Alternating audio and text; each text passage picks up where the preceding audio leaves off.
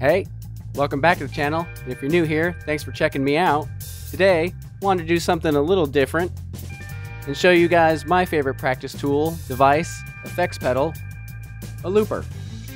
This is a Ditto looper from the company TC Electronic. It's a simple looper with a single foot switch, one press to record, double press to stop, hold to clear, or hold to undo if you have a loop going already. This is the loop level, how loud your loop recording is. You don't have to have this looper, but anything of this sort. I have a stereo looper down on my pedal board that I'll do some sweeps of now, but any old looper will do. So let's get into it.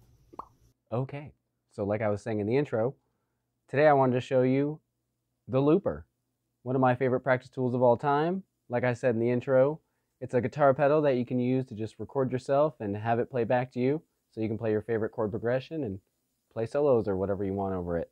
So I have a Digitech Jamman looper here. This is the first looper I ever got. It's a stereo looper. Yours doesn't have to be as fancy. Like I was saying, this Ditto looper right here works fantastic. Whatever you can get your hands on these days is fantastic. So mine has a stop button and a record button and some other buttons that you don't need to worry about. Some of the volume knobs, you have your loop level, your instrument level, which I have a certain way because of how I'm running it into my interface. But the main gist of it, I'm pressing this for stop and this for record. So the idea here is you can take any progression and have it play back to you. So here we go. And I like to start maybe with like the rhythm. Okay, let's say we like that tempo. We like that rhythm. Record it.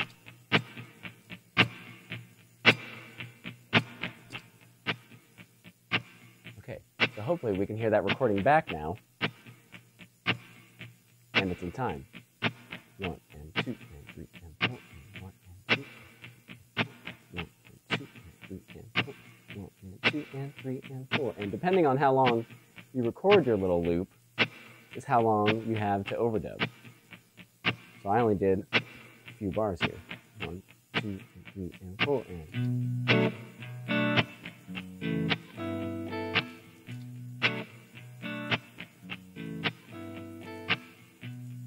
So now I have my rhythm, my chords, playing over my scratchy, let's say, drum rhythm.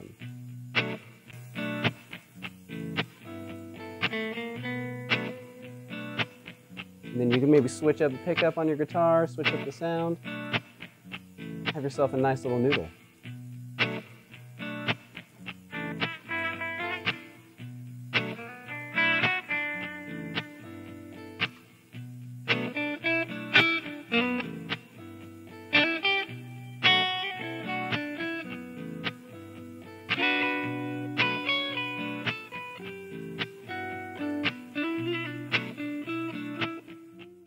Or whatever you want. Okay, so I'm going to stop this one right here. So if you're someone like me that maybe doesn't like practicing to a hardcore metronome, so rigid, I mean, musicians don't play, you know, perfect like machines. We have a little swing, we have a little, we slow up, we speed down. Slow down, speed up? Yeah, that's how you say that. So anyway, with my looper here, lots of different functions, but all you need is record and stop. So let's say we start with our chords. I'm going to stick with the same thing I was playing before.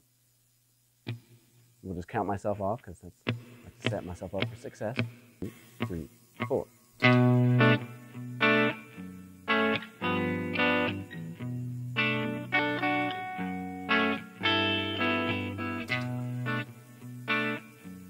Now you can see my light is green on there saying, hey, you recorded that, buddy. Good job. Mine has a blinking tempo light. Counting out quarter notes. Two, three, four. One, two, three, four. And then you see it blink red on the one, which would be really helpful if you're lost in a loop.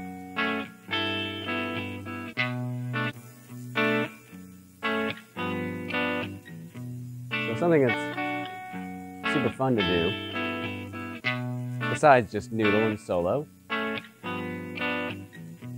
is try harmonies. So I'm going from a B minor, F sharp minor, to a G, G7, basically.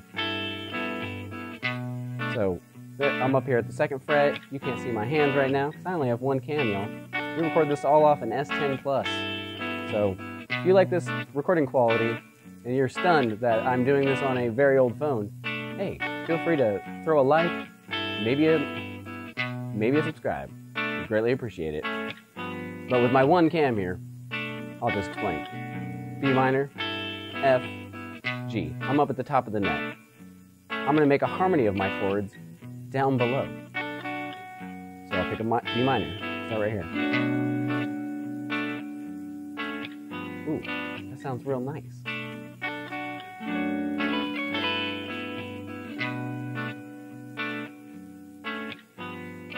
Threw a little nine on top of it, just for some sauce. So I'm using the bottom four strings of the guitar, 7th fret, 7th fret, 7th fret, G, B, D string, and then high E string, 7th fret as well. You get the 9, and reaching up to the ninth fret on the high E string.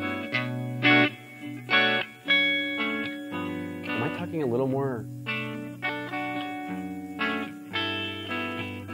Am I talking a little more intimately because this music's playing? I think I am. Okay, so we have our B minor harmony.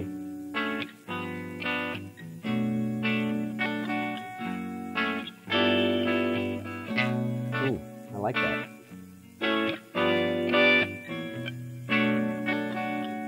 So, if you have a second guitarist in your band and you want to write parts, this is a great way to audition.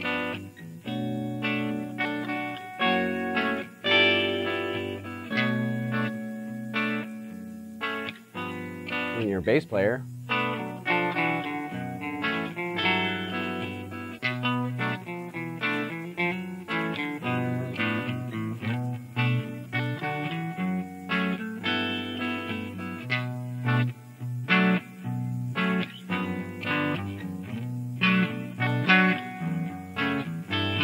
where the looper comes in is you can actually lay this down and actually build songs. You can create entire bands just by looping.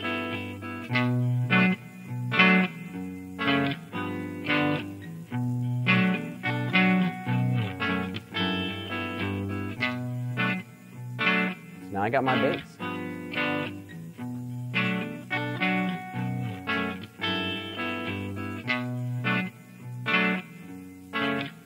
My second guitarist comes in.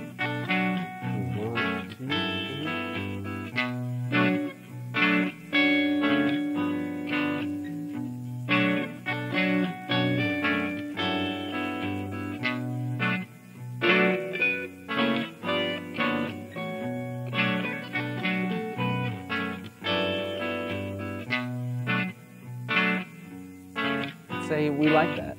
We want to add a little ambience. So Got my HX stomp here, just for effects. I'm just gonna add a little delay, tapping the tempo. Very important if you have a looper and you're using time effects. Make sure it all syncs up. It's gonna sound a lot better.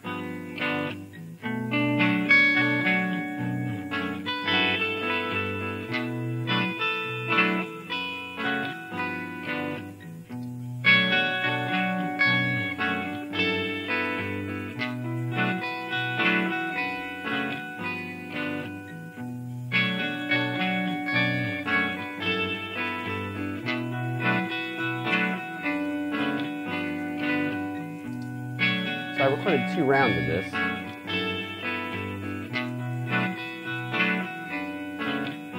As if we're layering parts. So you can also use this as good studio equipment. Studio equipment simulator.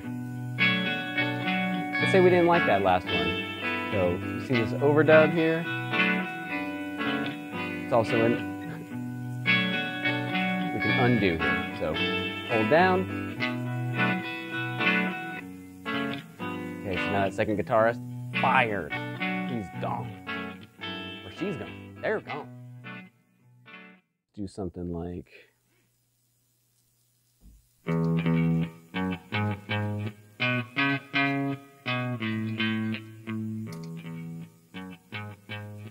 Okay, it's just a little groove at E major, E majorish.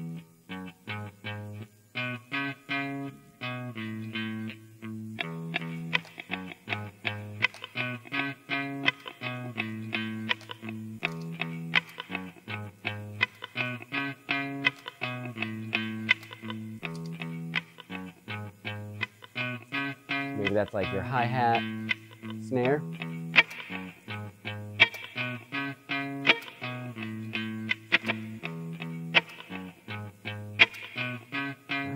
check that out.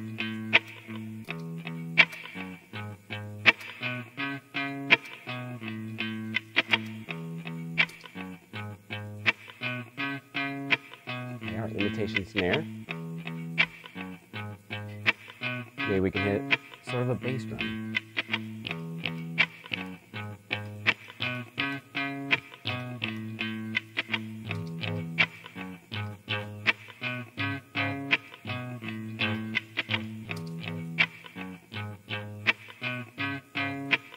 Just kind of thumping a string there, trying to get that bass. Smacking the guitar just kind of gets a little high end, that sound. So it won't really work for this. Your bass, you got your drums. You can do any chord progression on this now. Well, not really, because the bass line. You can do any chord progression in E now. Let's check it out.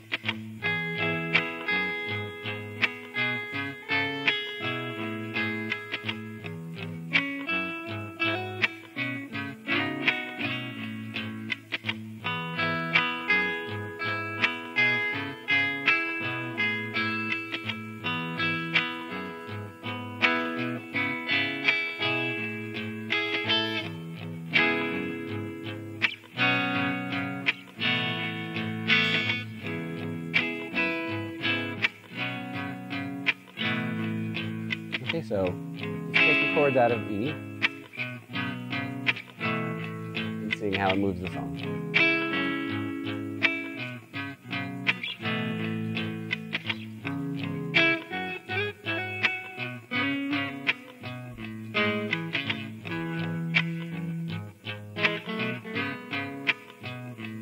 And of course, we just get pulled into the noodle, pulled into the groove. But the point being here, I'll try to keep it brief, even though this is drawn on. Now you can write songs like this. It's a great device, great tool. Something very accessible and easy to buy. Go on Reverb, find one used at your local guitar shop. These things are great, okay?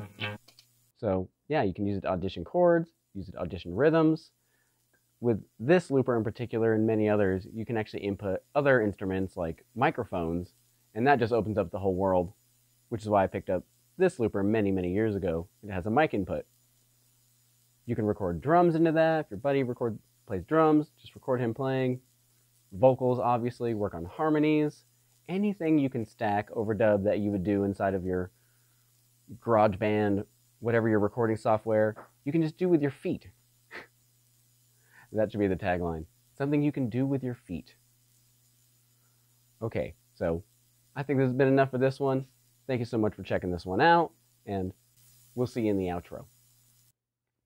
Thank you so much for watching the video today. If it's not too much to ask, hit the like and subscribe down below, and maybe check out some other videos going on here, and I would greatly appreciate it. All right, thank you.